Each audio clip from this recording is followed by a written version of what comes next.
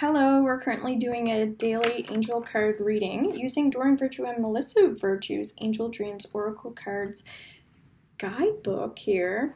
And we're just going to pull up a few cards to see what we can expect for the energy of the day. So April 6, 2019. Thank you so much for subscribing to this channel. I very much appreciate it. And you can also go on to robinshealing.com if you're interested in your own personal reading or any of my in-person or online services. So the first card that we have is blue, Communication Inner Truth. Boy, isn't that the truth.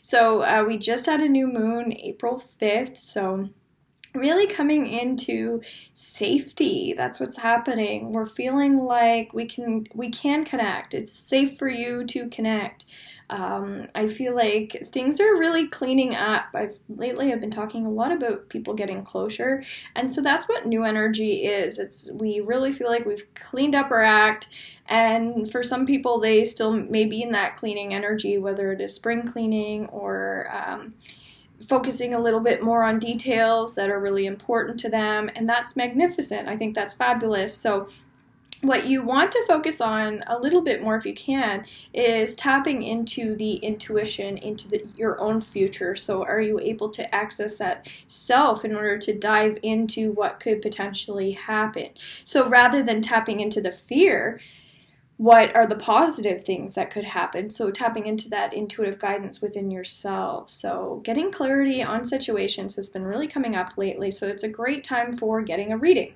Dream guide, teacher, guardian. Hmm, I really like that. So, it's really um, learning how to adapt with, I think, the way that we are. So sometimes there are aspects to ourselves that we really don't like, but I think we're even learning how to adapt to our ourselves. So if that means uh, your if for some people maybe it's your sexuality. Maybe you wish that you had a different sexuality but you but you don't and therefore you need to accept that.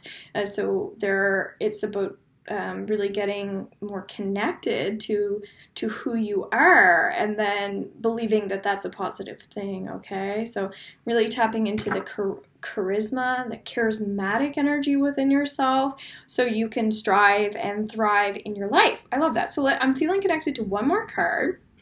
So seeing through your yourself in some ways because sometimes we trick ourselves into believing things that aren't true, which is interesting. I usually say that about other people. It's actually your own energy. So you have to be able to see through your own um, issues sometimes, okay? So we have the color purple, third eye clairvoyant. So that's exactly what I'm talking about.